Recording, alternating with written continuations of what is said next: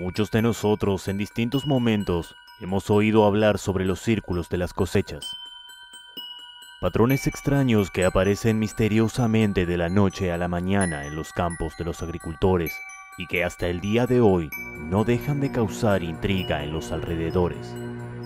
Cada año y para ser más exactos en el mes de agosto, cuando los trigales llegan a su madurez, aparecen estos dibujos en los campos de trigo. Algunos incluso llegaron a aparecer en un lapso de tiempo menor a media hora. ¿Cómo es posible todo esto? Principalmente esto comenzó en Reino Unido, pero rápidamente se ha extendido a decenas de países en todo el mundo en las últimas décadas. Este misterio ha inspirado innumerables libros, grupos de aficionados, investigadores e incluso famosas películas de Hollywood. A lo largo de la historia, se ha demostrado que estos círculos no pudieron haber sido dibujados por seres humanos, al menos no con la tecnología que se conoce públicamente al momento de aparecer. Pero pese a los años que se llevan estudiando estos acontecimientos, hay una pregunta que sigue sin responderse. ¿Qué o quién los realiza? Muchas teorías e historias se han creado sobre este tema. Hoy, en Qué Loco, vamos a analizarlas y averiguar cuál es el origen de estos acontecimientos. Quédate con nosotros. Esto recién empieza. El primer acontecimiento data del año 1978 en Reino Unido. A partir de ese año, el mito comenzó a circular rápidamente entre las personas del pueblo. Un gran círculo perfectamente dibujado apareció en uno de los campos de trigo. ¿Cómo era posible? ¿Qué fuerza sobrenatural había hecho tal dibujo? Te imaginarás la sorpresa que tuvieron las personas cuando en los años 90 los artistas Doug Bauer y Dave Chorlett se adjudicaron la obra como propia e incluso demostraron cómo lo habían hecho. Sin embargo, este no fue el único acontecimiento. Los círculos comenzaron a multiplicarse por todo el mundo. Campos y más campos marcados con estos símbolos extraños.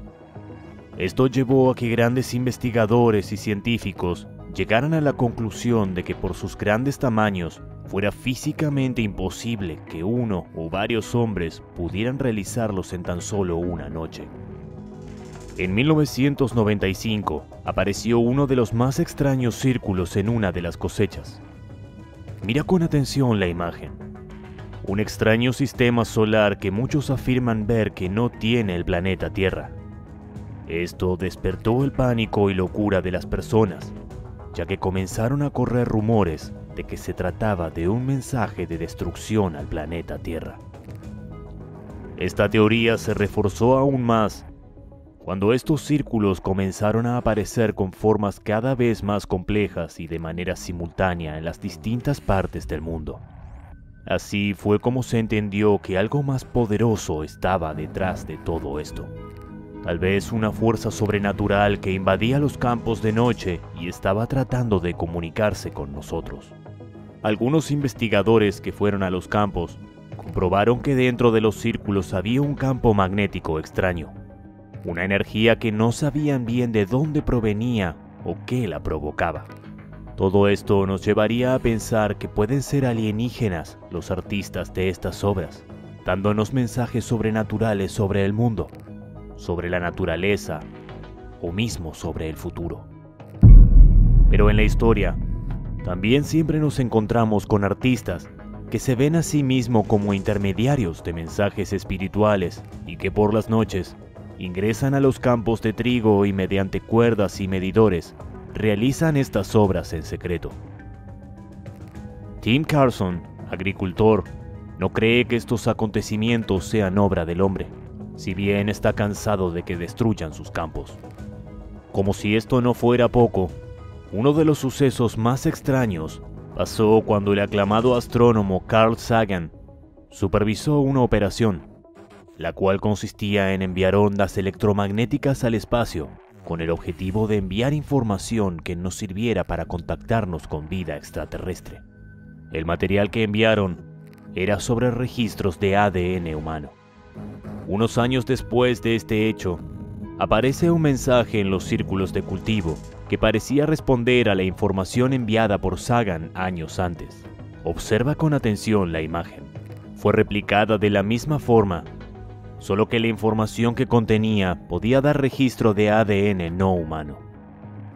Tal vez sea una prueba que demuestre que hay vida extraterrestre, o no, y tan solo es una idea demasiado apresurada, a pesar de que hay una gran cantidad de pruebas.